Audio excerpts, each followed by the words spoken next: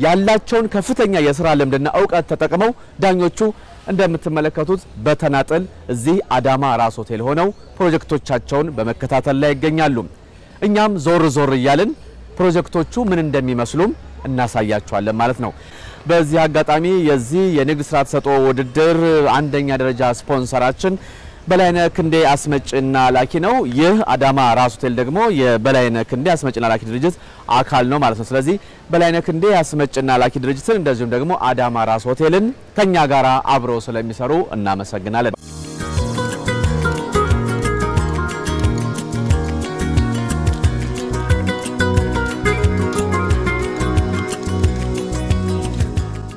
አንድ የ business idea በመጀመሪያ ደረጃ አዋጭነቱ ይታያል።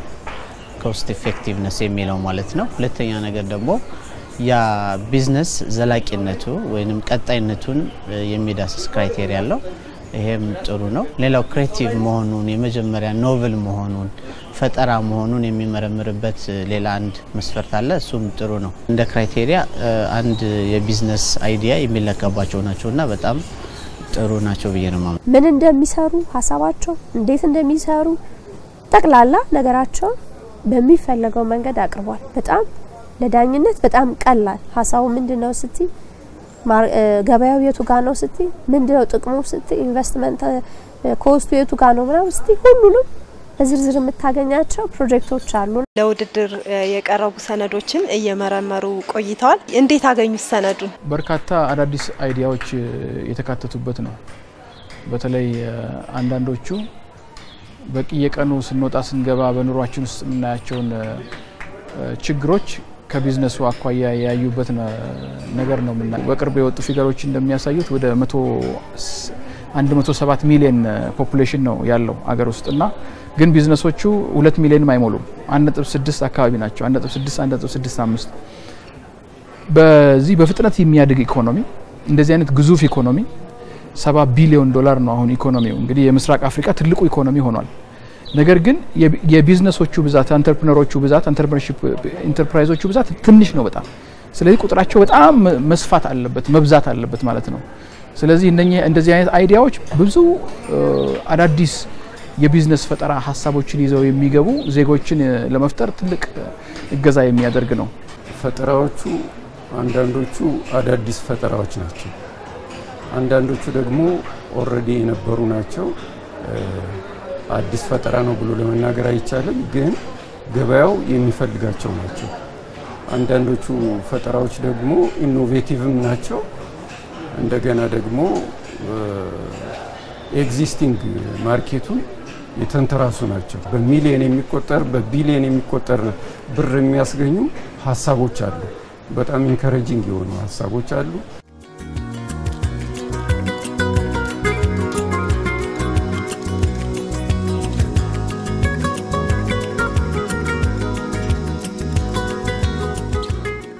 በምርመራ ሂደት ውስጥ በጣም ያስደነቀውት ነገር ያስገረመውት ነገር ምንድን ነው?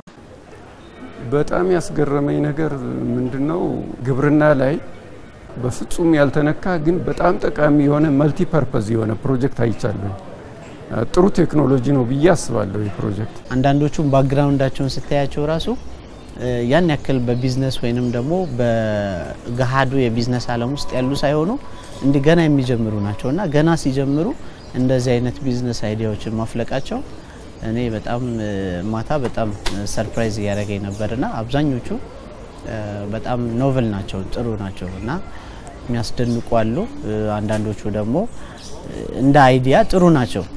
ቢኮተኮቱ ወይም ደግሞ ትንሽ የሆነ ባለሙያ እገዛ ቢያደርግላቸው ኖሮ ጥሩ ሊሆኑ የሚችሉ አሉ እና በአጠቃላይ የ business idea ዎቹ እንደ መጀመሪያነት ቆንጆ ናቸው።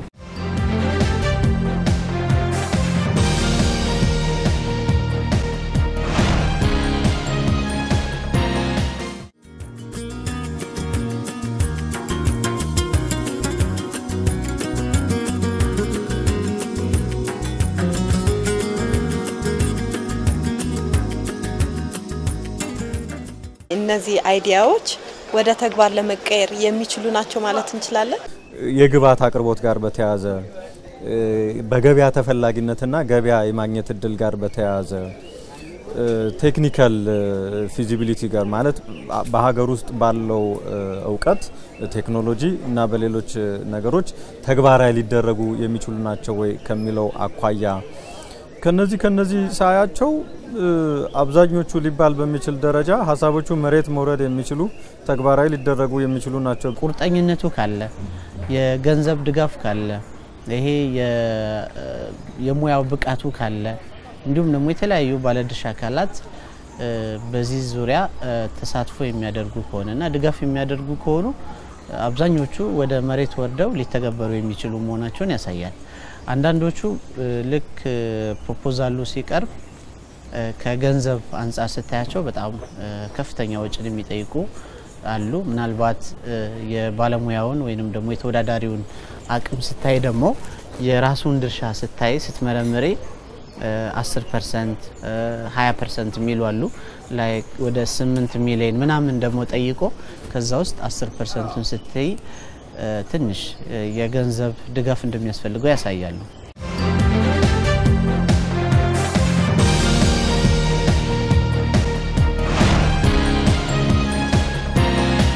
እነማን ወደሚቀጥለው ዙር ያልፋሉ፣ እነማንስ ይቀራሉ የሚለው ገና ነው። ምክንያቱም እነዚህ ዳኞች በተናጠል በሚያዩበት ጊዜ እጅግ በጣም ጥንቃቄ በተሞላበት ሌላም ዳኛ ስለሚያየው ያሳለፏቸውን እንዴት እንዳሳለፉ በምን አይነት ሁኔታ ከሌላው ብልጫ እንደወሰዱ እነዚህ ፕሮጀክቶችም ያስረዳሉ፣ ይወያዩበታል፣ ይከራከሩበታል። ስለዚህ ይህ ዙር ቀላል አይደለም ማለት ነው። ተከታተሉን።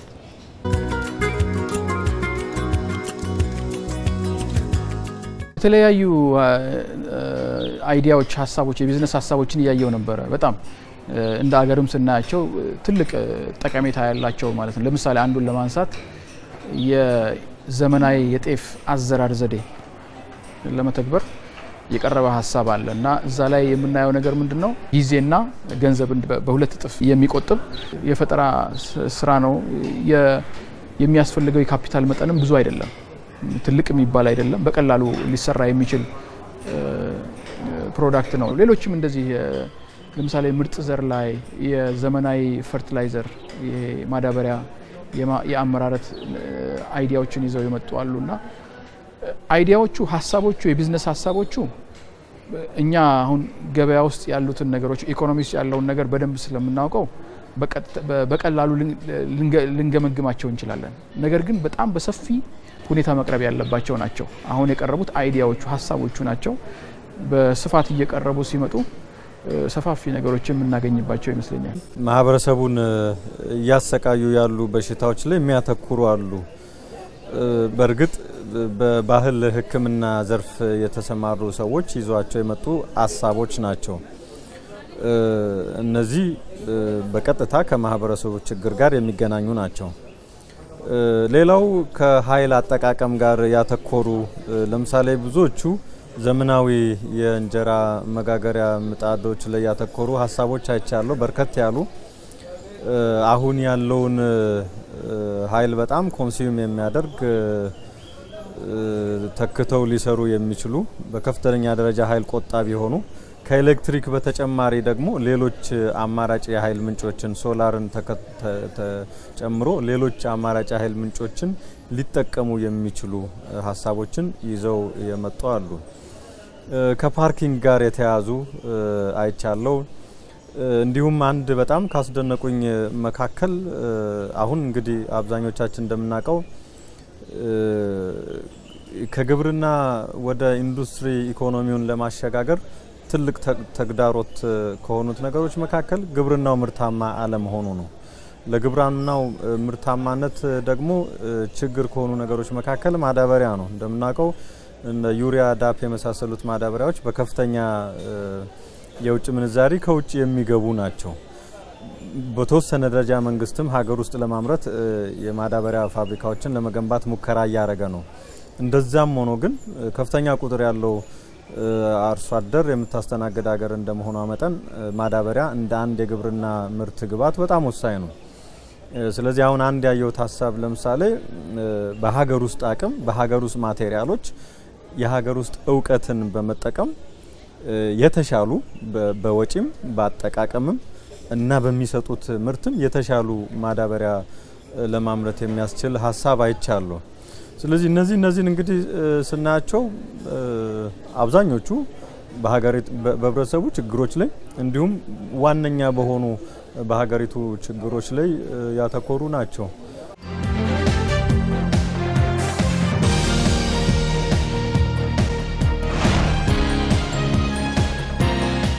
ኢንተርፕረነርሺፕ ስንል የንግድ ሀሳብ ፈጠራ ነው። በውስጡ ፋይናንስን የሚመለከት አለ።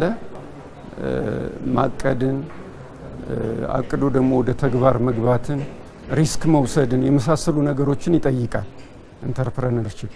ከ entrepreneurship አንጻርም meet የሚያደርጉ አሉ፣ የተወሰኑ ደግሞ ትንሽ meet የማያደርጉም አሉ። ወደ ቢዝነሱ ስናመጣቸው የሀሳቦቹ አዲስነት አንድ ነገር ነው። እነኚህ ሀሳቦች ደግሞ ወደ እኛ ሁኔታ መለወጣቸው ደግሞ ሌላ ነገር ነው። innovation ወይም ደግሞ ፈጠራ ታክሎባቸው ማለት ነው። እነኛ ሀሳቦችና ፈጠራዎች ደግሞ በገበያ ውስጥ ገብተው ማሸነፍ በሚችሉበት ደረጃ በቢዝነስ ደረጃ መቀናበራቸው ደግሞ ዋናው የ entrepreneurship የስራ ተፈጥሮ ገበያ ውስጥ የሚያሸንፍበት መሳሪያ ነው። እንግዲህ ሂደት ይጠይቃል። አሁን ያቀረቡት ግለሰቦች አሉ፣ በቡድን ሆነው ያቀረቡ እንደ company establish አድርገው ለመስራት ያቀረቡ እነኚህ እነኚህን አካላት አቅማቸውን መገንባት ያስፈልጋል። አሁን ሁሉ ነገር ያለቀለት ነገር ከፈለግን በአንድ ጊዜ አናገኝም። ማድረግ ያለብን ምንድን ነው? እነኚህ potential ያላቸው የተወሰኑ የቀረቡ idea ዎችን ሰዎቹን ይዞ በማሰልጠን የተለያዩ ግብአቶችን በመስጠት እንደገና test ን በማድረግ ደግሞ idea ውን ወደ product የሚያድግበት ሀሳቡ ወደ ምርት የሚያድግበትን ሂደት አለው። የራሱ scientific ሂደት አለው። ያንን ሂደት ተከትሎ ለምሳሌ sample የሚያመርቱበትን ነገር ማመቻቸት ሊሆን ይችላል። ገበያውን test የሚያደርጉበትን ነገር ማመቻቸት ሊሆን ይችላል። እንደዛ እንደዛ እያደረጉ አብሮ አብሮ ማሳደግን ይጠይቃል። እንግዲህ idea ዎቹ፣ ሀሳቦቹ፣ የቢዝነስ ፈጠራ ሀሳቦቹ በዚህ ደረጃ እዚህ ድረስ ከደረሱ ከነኛ ሰዎች ጋር አብሮ መሰራት ያለበት ነገር አለ። novel የሆነ ሀሳብ ብቻውን በቂ አይደለም። በትክክል ተግባራዊ ለማድረግ ከዛ በኋላ የሚሰሩ የ concept development፣ የ product development እና commercialization ላይ የሚሰሩ ስራዎች በጣም ወሳኝ ናቸው። እንደ ሀሳብ ግን ከዚህ በኋላ ያሉትን ስራዎች concept development ኡን፣ product development ኡን እና commercialization ላይ ሀሳቡ የሀሳቡ አመንጮች ታግዘው ድጋፍ እየተሰጣቸው መስራት እስከቻሉ ድረስ የ incubation opportunity ማግኘት እስከቻሉ ድረስ መውረድ የሚችል ነው። ነገር ግን አሁን ላይ ይሄኛው stage ብቻውን ወደ መሬት የሚወርድ አያደርገውም። ካሁን በኋላ ያሉትም ስራዎች አስፈላጊ ናቸው።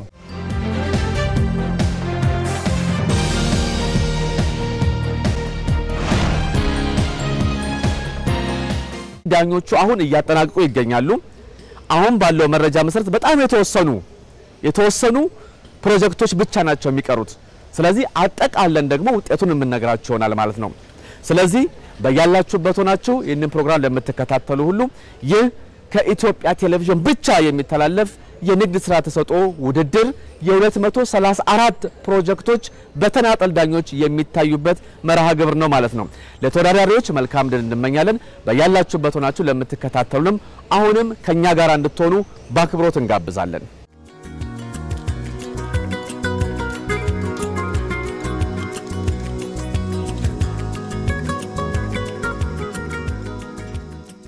አንዳንዶቹ በጣም አዲስ ናቸው አዲስ ናቸው። አዳዲስ መሆናቸው አንዱ የቢዝነስ ፈጠራ መገለጫ ነው። ሌላው የተወዳዳሪዎቹን ባህሪ ስታይ አንዳንዶቹ የማይሞከሩ ናቸው እና risk ን የመውሰድ risk taking እንትንን ያሳያል።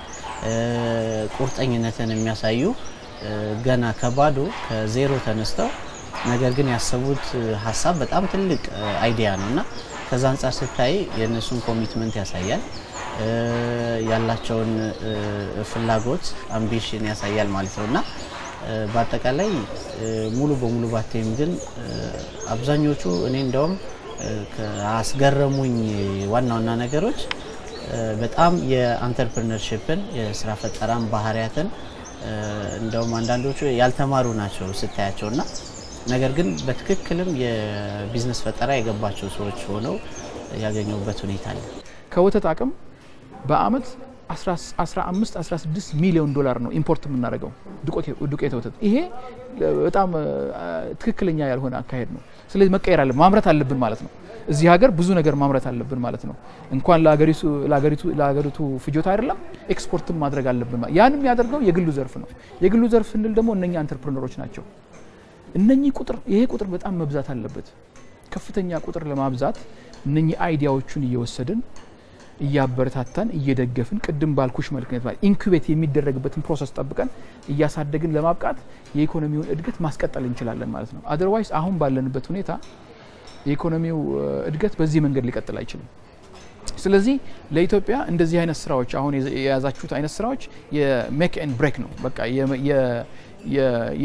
የሚያስቀጥልና የሚያቆም አይነት ነገር ተወስዶ መደረግ አለበት ማለት ነው።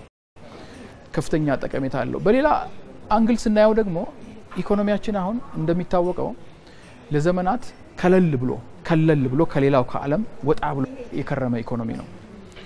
አሁን AfCFTA የሚባል African Continental Free Trade Area የአፍሪካ አገራት ወደ 44 የሚሆኑ አገራት ገበያቸውን የሚያቀላቅሉበት ስምምነት ኢትዮጵያ ፈርማለች።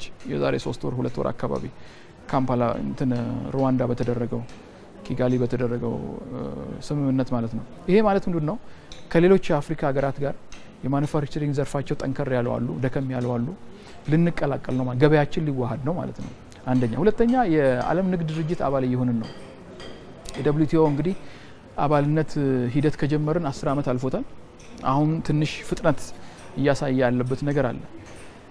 በቅርቡ ደግሞ መንግስት እያሳየ ያለው አዲስ appetite አለ privatize ለማድረግ ትልልቅ መንግስት የመንግስት ተቋማትን በከፊልም ወይም ደግሞ ሙሉ በሙሉ ወደ ግል ለማዞር የመጣ ነገር አለ። ይሄ ሁሉ ትልልቅ opportunity ዎችም ናቸው፣ threat ኦችም ናቸው ለ private sector ሩ ለግሉ ዘርፍ። ስለዚህ አቅሙን አበርትቶ አቅሙን አጎልብቶ ጠንክሮ ብዛቱን ጨምሮ መገኘት አማራጭ አይደለም ማለት ነው። ለዚህም አስተዋጽኦ ይኖራል ማለት ነው ይሄኛው ስራ በሁለቱም አቅጣጫ አጠቃላይ ኢኮኖሚ ላለበት ደረጃ እንደገና እየመጡ ላሉ ሁኔታዎችም መልካም አጋጣሚ ናቸው ብቻ ብሎ መፈረጅ አይቻልም። ስጋቶችም ሊሆኑ ይችላሉ በደንብ ካልተዘጋጀን ማለት ነው። ለሁለቱም ጠንካራ ጠቀሜታ አላቸው።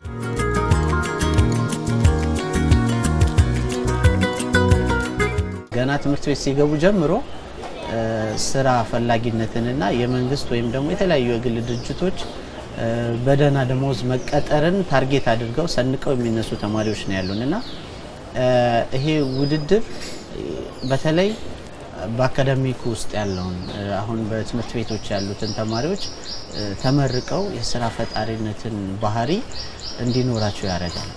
ሁለተኛ ነገር ደግሞ ሌሎቹም ደግሞ በስራው ላይ ያሉት የተሻለ ቢዝነሳቸውን እንዲያዘምኑ ቢዝነሳቸውን እንዲያሳድጉ ጥሩ አጋጣሚ ይሆናል ብዬ አስባለሁ። ብዙ ሀብት ሊያፈሩ የሚችሉ ሀሳቦች ተደብቀዋሉ።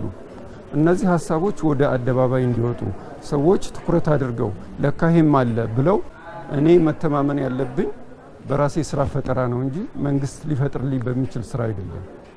ስለዚህ ከዚህ አንጻር ይሄ ፕሮግራም ሲተላለፍም ሆነ ወይም ደግሞ በዚህ ፕሮግራም ተነሳሽነት ሌሎችም institutions stakeholders በዚህ ላይ involve ቢያደርጉ ሰዎች ወደ ስራ ፈጠራ ይገባሉ። በመንግስት ላይ ያላቸውን የጥገኝነት አመለካከት ያስወግዳሉ። totally የመንግስት ስራ ይፈጥርልኛል ብዬ መማር የለብኝም ወደሚለው ስሜት ይገባሉ ብዬ አስባለሁ።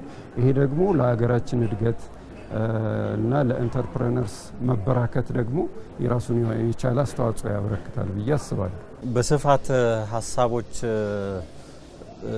በማይፈልቁበት እንደኛ ባለ ሀገር በዋነኛነት የስራ ፈጠራ ስራውን መንግስት ይዞ በሚሰራበት ሀገር እንደዚህ አይነት ፕሮግራሞች ከፍተኛ ጠቀሜታ አላቸው ብዬ ነው የማስበው። ምክንያቱም መንግስት የሚሰራውን ስራ ብንወስድ ለምሳሌ እንደውም አሁን በቅርብ ጊዜ ተዘዋዋሪ ፈንድ መድቦ በሚሰራባቸው ከዚህ በፊትም ለወጣቱ የስራ ፈጠራ እድል ዘርግቶ በሚሰራባቸው መንግስት ቦታ ሰጥቶ መንግስት ግብዓቱን አቅርቦ መንግስት ገበያውን አመቻችቶ አደራጅቶ ነው የሚያሰራው። ስለዚህ በዚህ መልኩ የሚሰራ ስራ ሙሉ በሙሉ በጠባቂነት ላይ provided በሆነ environment እንዲሰሩ ያደርጋቸዋል። ስለዚህ challenge ኡን አያውቁትም፣ ገበያ አይፈልጉም፣ ፋይናንስ አይፈልጉም፣ ምንም challenge የለባቸውም ማለት ነው። በእንደዚህ አይነት አካሄድ ሊያድጉ የሚችሉ ወይም growth oriented የሆኑ ቢዝነሶችን መፍጠር አይቻልም። አያድጉም፣ አይስፋፉም፣ ተጨማሪ የስራ እድል አይፈጥሩም። invest የተደረገባቸው ሀብትንም ተጨማሪ production አያመጡበትም። ለዛም ይመስለኛል ባለፉት እንግዲህ በጣም ብዙ አመታት መንግስት በራሱ ለወጣቶች የስራ ፈጠራ እድል እየሰጠ የስራ አጥነት ቁጥር በከፍተኛ ደረጃ እየጨመረን ያለው ተደራጅተው የሚሰሩትም ያን ያህል ውጤት እያመጡ አይደለም። እንደዚህ አይነት ፕሮግራሞች ጥሩነታቸው ሰዎች ወደ ቢዝነስ ለመግባት መጀመሪያ ሀሳብ ይዘው እንዲመጡ ያደርጋል።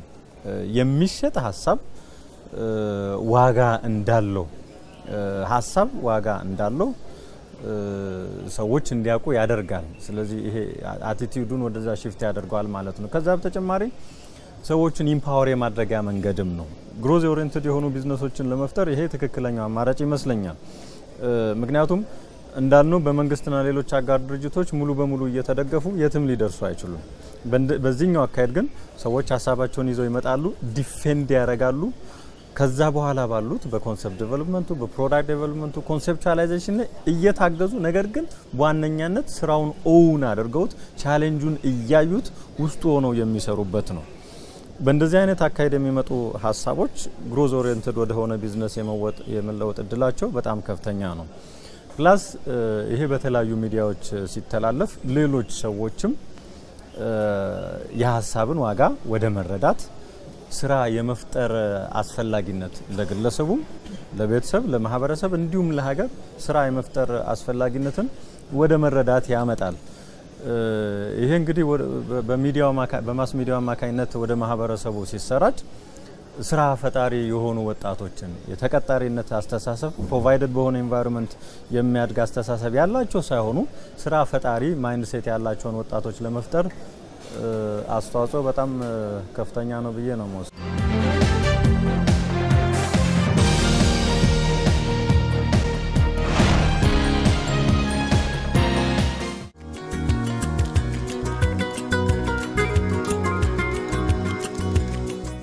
ሁሉም ሰው በተቀመጠበት ቦታ ላይ ባለበት ቦታ ላይ ምን አይነት የ business idea አለ፣ ምን አይነት የስራ ፈጠራ idea ዎች አሉ፣ የራሴንም ህይወት ለውጦ የዜጎችም ህይወት ለውጦ ለአገርም እድገት አስተዋጽኦ የሚያደርጉ ሀሳቦች እኮ እዚሁ አካባቢ ያለው ስወጣ ስገባ የማያቸው ሀሳቦች ውስጥ ወደ ቢዝነስ መቀየር የሚችሉ ነገሮች አሉ የሚል የድፍረት ሀሳቦችን ወደ ዜጎች ያደርሳል ማለት ነው። የሚሸጡ ሀሳቦችን በጽሁፍ አስፍረው ለመወዳደርም ደግሞ አድሏዊነት እንደማይኖር በባለሙያ እንደሚገመገም ሲያምኑ የተሻሉ የ business idea ዎችን በሀገራችን ደረጃ ለዚህ ለቢዝነስ ፈጠራም ትልቅ ድርሻ ይኖረዋል ብዬ አስባለሁ። ተወዳዳሪዎቹ እዛ ላይ ሀሳባቸው በቀረበ ቁጥርና እዛ ላይ በወጡ ቁጥር የሚያገኙት ብዙ ግብረ መልሶች አሉ በሀሳባቸው ዙሪያ ላይ። ይሄ በጣም ትልቁና ጠቃሚው ለስራ ፈጣሪው ትልቁ part እሱ ነው። ሁለተኛ እዛ ላይ ሲወጡ ሀሳብን ወደ ብዙ ሰው ማስረጽ ይችላሉ።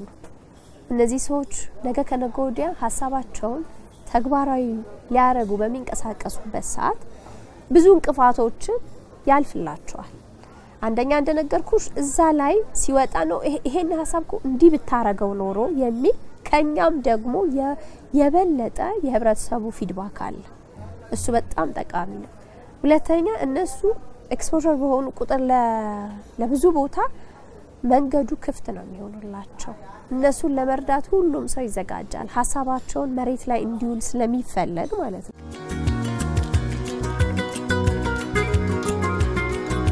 ክቡራን ተመልካቾቻችን እንግዲህ የ234ቱ ፕሮጀክቶች በተናጠል የታዩበት የዳኝነት ሂደት ተጠናቋል።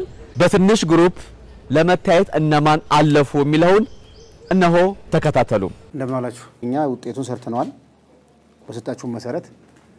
አሁን እናንተ አስተያየት አቀርባችሁበት ከስንት በላይ እናሳልፍ? I think ሌሎች እንዴት እንደያዙት ባላቅም እኔ እያንዳንዱን paper ከነ ቁጥሩ ከነ title ኡና weakness and strength ብዬ ያስኳቸው point ኦች አሉ። በአጭር ጊዜ ቁጭ ብለን sort out ማድረግ ብንችል የሚል አለኝ። ይሄ የራሱ የእናንተ የግል ያደረጋችሁት ማጣራት value አለው፣ ዋጋ እንሰጠዋለን። ዋጋው በዚህ ነው የሚታየው። ዋጋ ካልሰጠነው እንደገና ደግሞ ቁጭ ለሌላ ስራ የምንሰራ ከሆነ ሁለተኛ ስራ ነው የምናደርገው።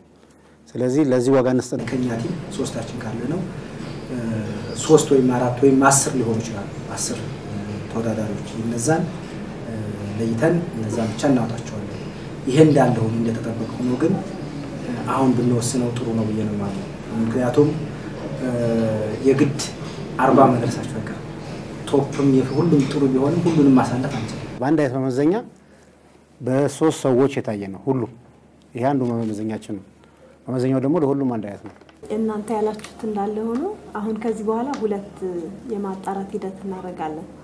አንደኛው በግሩፕ በግሩፕ ሆናችሁ የምታጣሩበት ነው። ሁለተኛው እና የመጨረሻው ደግሞ አጠቃላይ አስራ ሁለታችሁ የምታወሩበት ሂደት የሚፈጠርበት ሁኔታ ስላለ ሾልኮ የወጣ እንኳን ካለ እዛ ላይ ስለሚያዝ እና ደግሞ ቁጥሩንም እየቀነስን ስለምንመጣ ተስማምተንበት ስንሄድ የሚሻል ይመስለኛል። በየግል ያደረግነው ግምገማ ነጥብ አለው። ነጥብ ባይኖረውም ባይኖረው ኖሮ ይሄን ያህል screen out ማድረግም አንችልም ነበር። የቀረበው ልጅ እሱን evaluate ያደረገው ሰው ሲናገር ወይም ደግሞ ሲያስረዳ በዚህ መንገድ ነው በዚህ point of view ነው ሲል ሌሎቻችንንም የማሳመን አቅም ሊኖረው ይችል ይሆናል። ስለዚህ ለነዚህ ጥቂት ነው ቁጥራቸው የሚሆነው፣ ለእነሱ ግን ትንሽ እድል ብንሰጣቸው ባይ ነው። ሁለት መሰረታዊ ጉዳዮች አሉ። በቃ መስፈርቱ አለ። በዛ መስፈርት strictly እንድንሄድ ነው የሚጠበቀው። subjectivism ሊኖር ይችላል። ያ ሊመጣ የሚችለው ደግሞ in detail በራሳችን ስናየው ነው። otherwise majority ን የሚገዛው ግን ይሄ መስፈርት እንደመሆኑና የ distribution ም ሁኔታ random እንደመሆኑ መጠን አንዱ ላይ በዛ ብሎ ሊያልፍ ይችላል። የፕሮጀክት ሀሳቡ የተሻሉ ፕሮጀክት ሀሳቦች ያሉበት ግሩፕ ሊሆን ይችላል። ሌላው ላይ ደግሞ የዛ ተቃራኒ ሊሆን ስለሚችል ቅድም የተቀመጠውን ሀሳብ ወስደን እንደገና ይህንንም እኮ በግሩፕ እየፈጨ ነው መሄዳችን አይቀርም፣ እያየ ነው መሄዳችን አይቀርም እና ካለውም የጊዜ አኳያ ቅድም የተቀመጠውን ብንከተል ይሻላል የሚል ቡድን ክርክራችሁ ላይ seriously ማየት የምችሉት አሁን ነው የሚሆኑ አሁን ስትወያዩበት ለሚቀጥለው ዙር ላይ እንደውም በጣም ፈተና ይሆናል የሚል ሀሳብ አለኝ እና በደንብ ብታዩበት ባለው እንሂድ ያስማማናል። እንደዛ ከሆነ ባለው ምንሄድ ከሆነ አሁን ዘጠና ሰባት ሰው ነው ያለን።